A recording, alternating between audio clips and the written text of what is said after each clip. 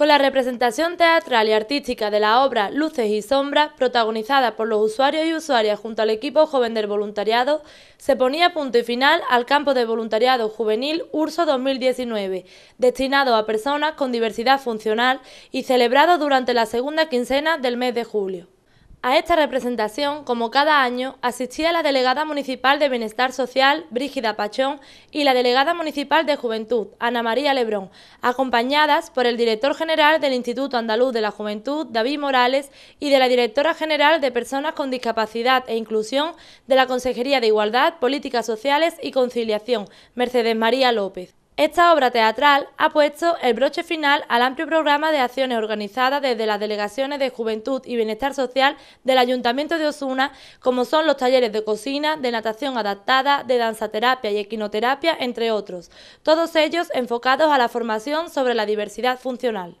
Además, voluntariado y participantes han realizado, a modo de convivencia, visitas turísticas organizadas desde el consistorio tanto en Osuna como en la capital sevillana, donde han tenido la oportunidad de conocer más a fondo nuestra cultura y la importancia del patrimonio que nos rodea.